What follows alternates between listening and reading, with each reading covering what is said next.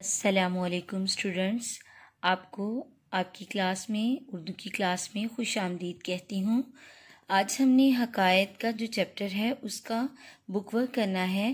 Page number है thirty two लफ्ज़ों के मायने लिखें। यह है आपका क्वेश्चन नंबर टू मसलहत बेहतरी, इसका मायनी है। नाजेबा, नामुनासिब, बरअक्स, मुखालिफ या उल्ट, मुसीबत, इसका मायनी है दुख। या बुरा वक़्त, नेक फितरत, अच्छी आदत, बद फितरत, बुरी आदत वाला। स्टूडेंट्स, क्वेश्चन नंबर थ्री है, दुरुस्त के सामने टिक और गलत के सामने क्रॉस का निशान लगाएँ। एक मिसाल दी गई है, बेबस कैदी ने मायूसी के आलम में बादशाह को दुआ दी। यह है क्रॉस पहले वज़ीर ने सच बोला था क्रॉस दूसरा वज़ीर बदफितरत था, सही। बादशाह ने कैदी को माफ़ कर दिया।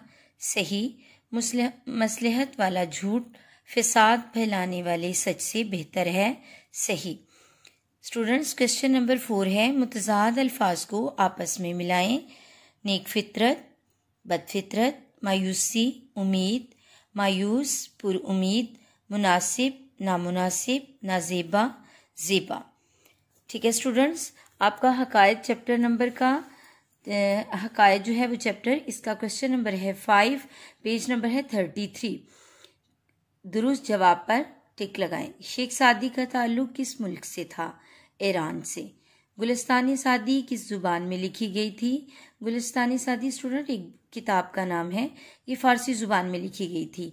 फिरदौन का ताल्लुक किस मुल्क से था? ईरान से। क्वेश्चन नंबर सिक्स है, पहले कालम के जिन अल्फाज का, दूसरे कालम के जिन अल्फाज के साथ ताल्लुक है, इन्हें आपस में मिला दें। एक मिसाल दी गई है, जब इंसान ज़िंदगी से मायूस हो जाता है तो ज़ुबान दराज हो जाता है। नंबर टू है, बादशाह को उस कैदी पर रहम आ गया। उसने उसके कत्ल का इरादा तर्क कर दिया। वज़ीर की बात, वज़ीर की इस बात पर बादशाह नाराज़ हुआ। दूसरा वज़ीर बदफितरत था।